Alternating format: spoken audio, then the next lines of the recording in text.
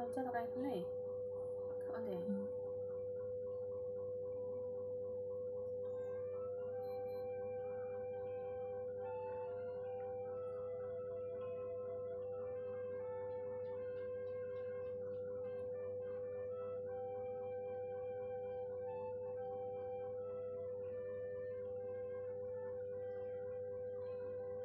Yan na naman ba? Yan na naman ba?